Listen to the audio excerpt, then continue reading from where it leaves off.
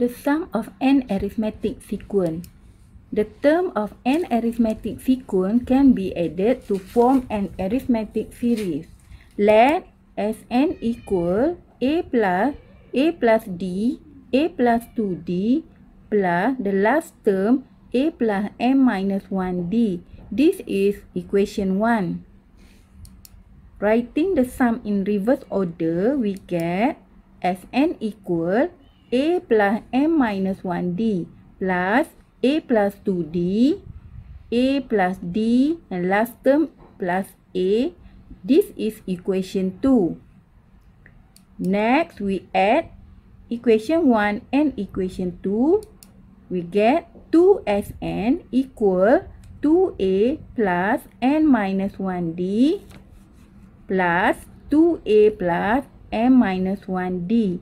We have n term of 2a plus n minus 1d. So, 2sn equal n 2a plus n minus 1d. Solve for sn, we divide both sides by 2.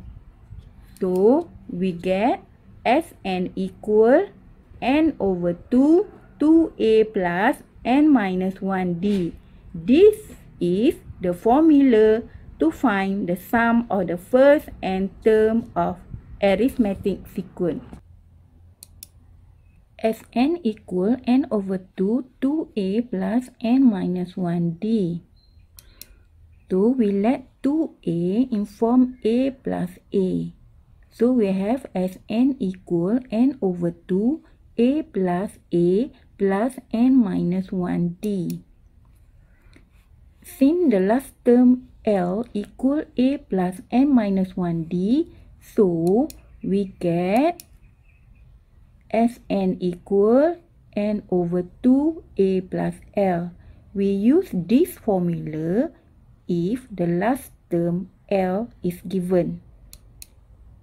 So, Sn can also be written as Sn equal n over 2 a plus L. Example 6. Find the sum of all integers between 100 and 200 that are multiple of 6.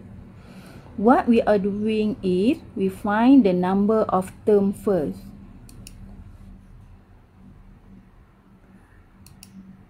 The multiple of 6 between 100 and 200.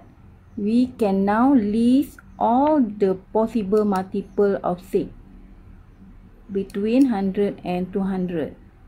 That is 102, 108, 114 and the last term is 198.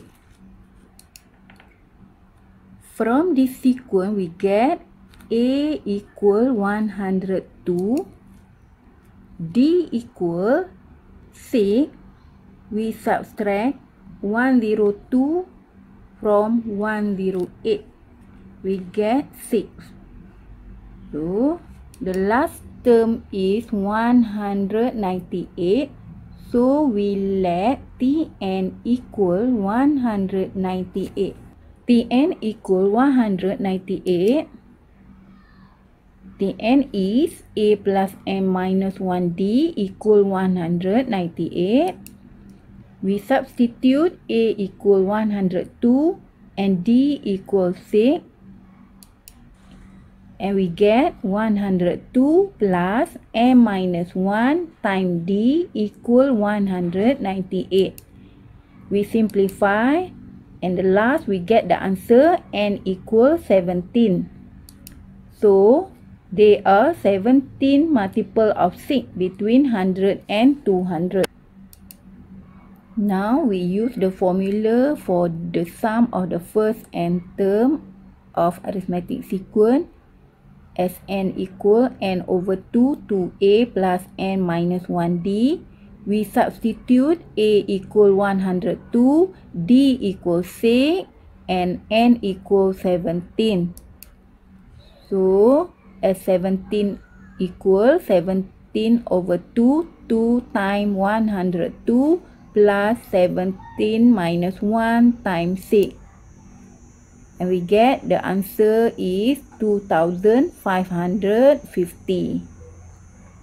So, the sum of all integers between 100 and 200 that are multiple of 6 is 2500. Example 7. The tenth term of an arithmetic sequence is negative 25 and the sum of the first 10 term is 65. Find the first term, the common difference and the sum of the first 20 term. Okay, we read the question first. From the first sentence, the 10th term of an arithmetic sequence is negative 25. So, we let T10 equal negative 25. T10 n equal 10. So, we substitute n equal 10 into the nth term formula. So, we get a plus 9d equal negative 25. That is the first equation. Next, the sum of the first 10 terms is 65. So we let S10 equal 65 and equal 10. We substitute into the sum of the first n term formula and we get 10 over 2 2a plus 10 minus 1d equals 65 we simplify and we get 2a plus 9d equal 13. This is equation 2. Remember that equation 1 is a plus 9d equal negative 25. To solve, we subtract equation 1 from the equation 2 and we get a equal 38. To find D, we replace A equal 38 into equation 1. We simplify and we get D equal 7. Sorry, D equal negative 7. So, the first term is 38 and the common difference is negative 7.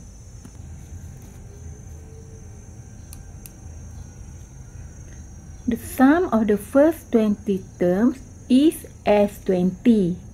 To find S20, we substitute N equal 20, A equal 38 and D equal negative 7 into Sn formula. We simplify and last we get the answer negative 570. So, the sum of the first 20 terms is negative 570. Example 8. The sum of the first 15 terms of arithmetic sequence is 255. And the sum of the next 15 terms is 705. Find the first term, the common difference and the 50th term. Okay. From the first sentence, the sum of the first 15 terms of arithmetic sequence is 255. So, we let S15 equal 255. N equal 15. We substitute into Sn formula. And then, we simplify. We have 2A plus 14d equal 34. This is first equation or this is equation 1. Okay, the next sentence of the question is the sum of the next 15 terms is 705. Okay, the first 15 term is 255 and the next 15 term So we plus 15. And then the next 15 term is 705. So 705 we plus to 255. So we have S30 equal 960. N equal 30. So we substitute into Sn formula So we we simplify and we get following equation. 2a plus 29d equals 64. This is equation 2. Equation 1 is 2a plus 14d equals 34. So, to solve, we subtract equation 1 from equation 2. And we get d equal 2. Next, we can find a. To find a, we substitute d equal 2 into equation 1. And then we simplify, we get a equal 3. So, The first term is 3 and the common difference D is 2. Term is T50. N equal 50. We substitute N equal 50, A equal 3 and D equal 2 into N's term formula. And then we simplify and we get the answer 101. So, The 50 term is 101. Application of arithmetic sequences. Example 9. Iman settles her debt of RM 4,980 by paying RM 50 at the end of the first month. And for the following month, she pays RM 8 more than the previous month. Find A. How long will Iman take to settle her debt? B. The amount of the last payment she makes. From this situation, we know that A equal 50 because Iman pays RM50 at the end of the first month.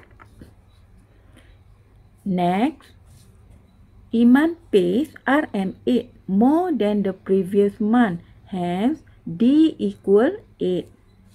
Okay. First month. At the end of the first month, Iman pays RM50. Next, second month, Iman pays RM8 more than the previous month. So, that is 58. Okay. How long will Iman take to settle her debt? RM 4980. Okay, A equal 50, D equal 8. Okay, so we substitute A equal 50, D equal 8 into SN formula. We let SN equal 4980. 80. We simplify. And we get 2n squared plus 23n minus 2490 equal 0. This is quadratic equation. To solve quadratic equation, we factorize and we get the value of n. n equal negative 41.5 and n equal 30. Two value of n. And then we ignore the negative answer. So, Aina take 30 months to settle her debt. Next, the amount of the last payment she makes is T30.